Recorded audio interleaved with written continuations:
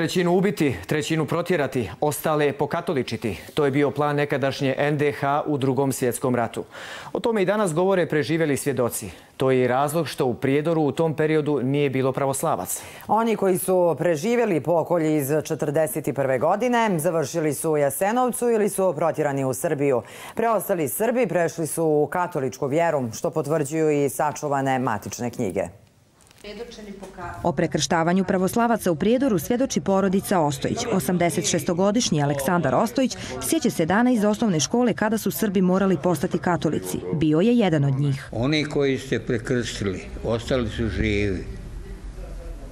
A oni koji nisu, 41. godine za Ilindan, to je 1. i 2. augusta, bili svi pobijeni. Tragom ove priče prijedručanin Lazar Gvozdenović istraživao je i došao do saznanja da je neophodno u gimnazijskim školskim matičnim knjigama iz Prijedora uporediti 41. i 42. školsku godinu.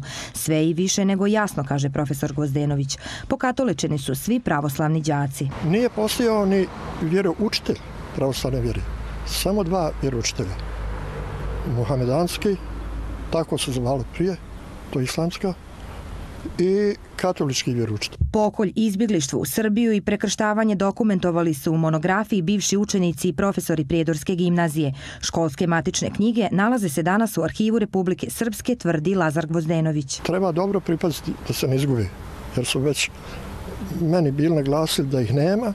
Kasnije kad sam ja priprijetio tužlaštvo, onda su i našli. Priča zanimljiva i za muzej Kozare. Kažu, obratit će se arhivu Republike Srpske. Mogućnosti smo da dobijemo interesantne informacije koje se tiču politika koje je nezavisna država Hrvatska sprovodila na ovom prostoru.